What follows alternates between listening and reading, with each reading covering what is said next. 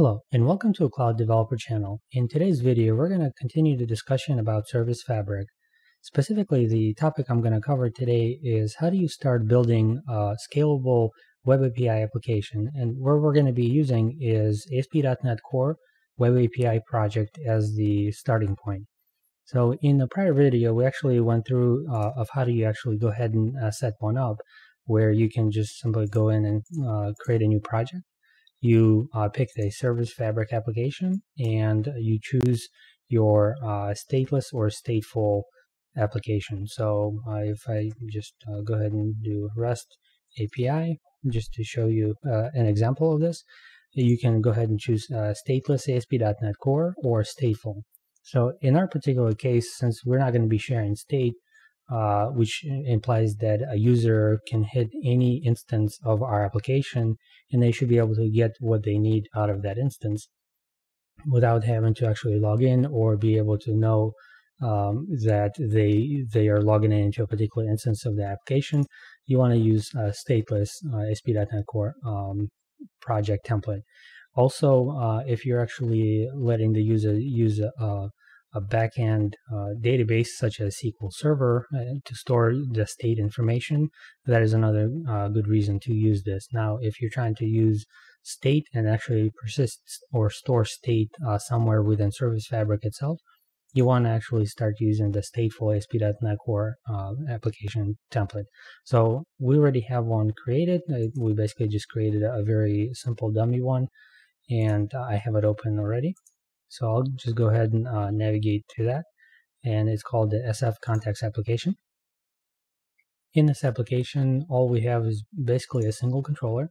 Um, all it has is just this uh, get uh, method, and it returns uh, a string uh, of value one, and then the actual name of the machine, just to show you uh, some information about the request and the environment that the actual uh, API application itself is running in. And we're going to ignore these other uh, methods as we don't actually need them for the purpose of this uh, tutorial. So um, right now I also have uh, a dev cluster set up of Service Fabric and contains uh, five nodes. So let me go ahead and navigate to that. And you do that by typing in the name of your cluster and one of your cluster nodes. And if you go to port 19080, uh, you'll be taken to the Service Fabric Explorer. So what you'll notice here is I have my five nodes, and uh, these nodes don't have anything running on them, and then I also don't have any applications. So if I click on the cluster, everything goes good, everything is healthy as well. So what I'm going to go ahead and do now is I'm going to go ahead and deploy this application on that um, particular uh, Service Fabric cluster. So, and you do that by right-clicking on this context application, and go ahead and click publish. And in my case, what I had is I, you know, it comes standard with cloud, local one node, and local five node. So what I did was I clicked on manage profiles, I selected the local five, click create copy, and then I renamed it to uh, to use the name that I wanted to have, and basically uh, click close, and then you can go ahead and adjust your settings here. Now, um, I've also gone ahead and, and, created the application parameter file, which uh, also is done the same way. You can click Manage Parameters, and then I just copied the, the local 5 node and created the version that I needed. And then you can click Edit, and here you can actually adjust some settings for your application. So in this particular case, I'm just uh, managing the uh, instance count of how many instances I want of this application to start uh, when it gets deployed to the cluster. So I also had this application deployed. So uh, what you want to do is if you're doing a brand new deployment, um, you're not upgrading applications. So you basically leave this upgrade application unchecked. Um, however, if you are making an update to your application, you would go ahead and check this, especially if it's already deployed in a cluster. And then you would want to actually tell uh, this uh, deployment profile that you want to upgrade. So in this case, we would be going from version 1.0.1 to 1.0.2. So you would save it and then uh, click publish. Also, something of note is that if you're updating just the configuration aspect, then you want to only update this config um, item. And what this will do is simply upgrade the configuration. It will actually not perform a redeployment of your application, which can actually save some time as well. So in this particular case, uh, I don't actually need to change anything. So I'm just going to go ahead and perform the, the initial deployment. So I'll go ahead and uh, click publish here and um, we'll see what happens. So what uh, you'll notice, uh, first of all, is it's actually uh, copying all the files and creating a package. And then now it's actually copying the application itself to the application image store, which is hosted within the Service Fabric cluster. And you can see also it's actually beginning to deploy and um, it's actually completed with that step now. So if we go to our cluster, you'll notice that the application showed up here and it got registered. And then if we start expanding it, we'll notice that um, all of the details are shown up. However, one of the nodes um, is uh, has this question mark, which basically means that it's still deploying that. So, and as you can see now, it's done. So what you'll see is, since I had three instances defined, it actually deployed to three different nodes in my cluster. And you'll see what the nodes are here. And you also see the details uh, under each node and where, you know, all the details behind those uh, code packages, where they're deployed and things like that. So the thing that I wanted to show you is this is actually a web API application. So we should be able to access it somehow. So what you can do is you can click on one of these nodes uh, within the, what's called a partition. And then when you click on it, you'll see the endpoint listed right here.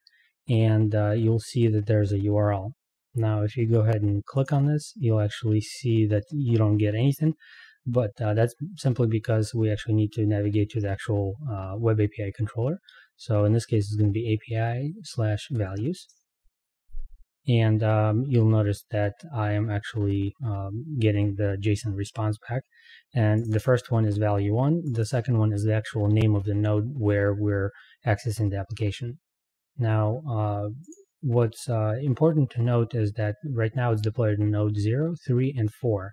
So what that means is if I go to node 3, uh, the name of the URL actually changes. So if I go here and I'll put in uh, API values, I'll be able to actually see that the name matches the server name. So also if I change it to 4, you'll see that um, everything is working correctly.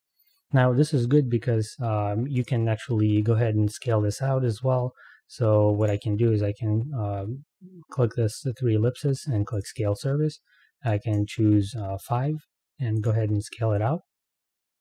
And what this will do is actually we'll deploy two additional instances one on each node. Um, this way I'll actually have all five nodes running this instance.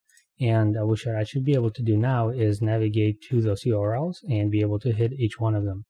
Now, that's uh, good to know, but um, it's not very usable right now because what if uh, one of these nodes actually goes down? I need to now be able to actually check to see and make sure that the nodes are not down um, or put some kind of a service in front of it the good thing about Service Fabric is it actually comes with an application gateway service or uh, what is called a reverse proxy. And uh, how you can know actually if you have it configured correctly, if you go to cluster node and then go to the manifest, you'll see that um, in the node type definition, you'll actually notice a few different settings. And one of those is this application, HTTP application gateway endpoint that is hosted on port 19081 using HTTP protocol. So what this uh, gives you is the ability to actually navigate to this endpoint, this API endpoint on the cluster without actually having to know which uh, node is actually hosting it. So whether it's one or all five, it will actually uh, perform uh, a sort of um, load balancing functionality for you. So uh, the way that you actually get to this endpoint is there's a couple of things to note. One is you need to know the actual application uh, name. So in this particular case, you need to know the application name, which is the SF Context application, and then the actual uh, service that you're trying to navigate to, which in this case is SF Context API. So let me copy this here. And I'll go to uh, the URL here. And what I have to do here is just simply put in 19,081 slash and then the name And then if I I still want to navigate to the actual API controller, so I'll put slash API slash values.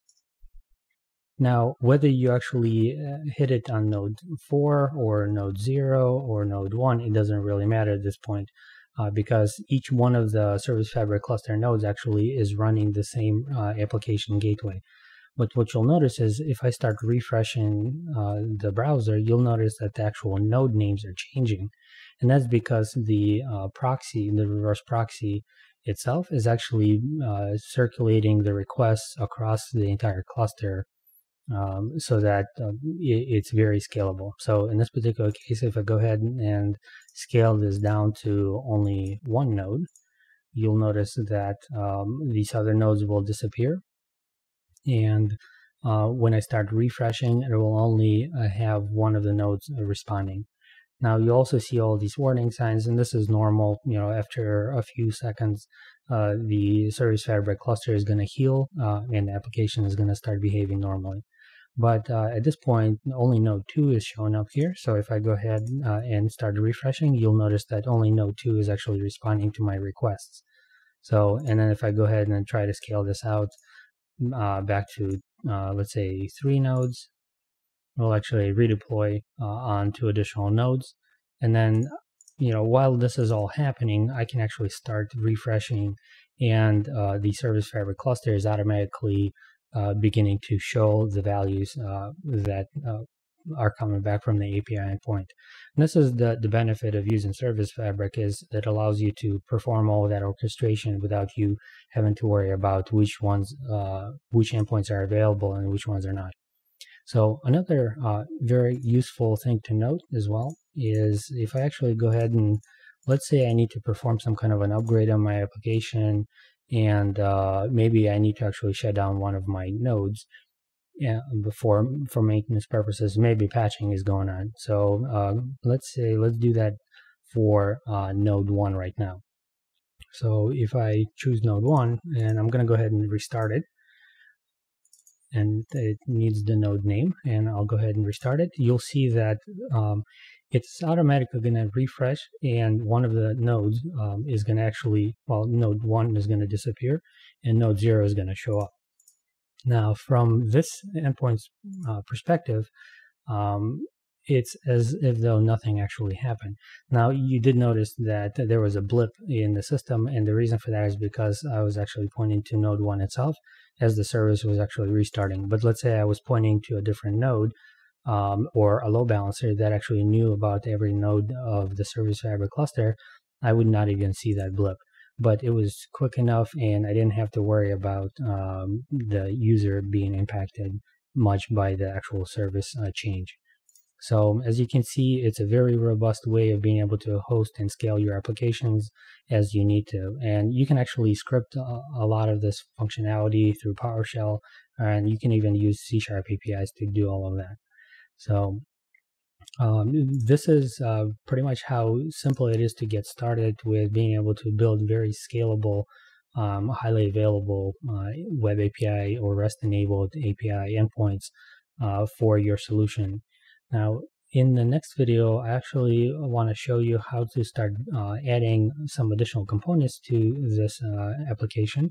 Specifically, you can actually build a, a web-based uh, application itself using ASP.NET Core MVC framework. And uh, there are some gotchas there because of how the actual application template itself is built. And I'll show you some of those gotchas, and then we'll be able to actually build uh, an instance that's also highly scalable, and it will actually consume one of these endpoints. So we'll tie them together all in one application, which will make uh, uh, one application that gives you the ability to scale out and actually be able to go through upgrade processes as well without any end user impact or very little downtime. So if you have any questions, go ahead and uh, leave your comments in the comment section below.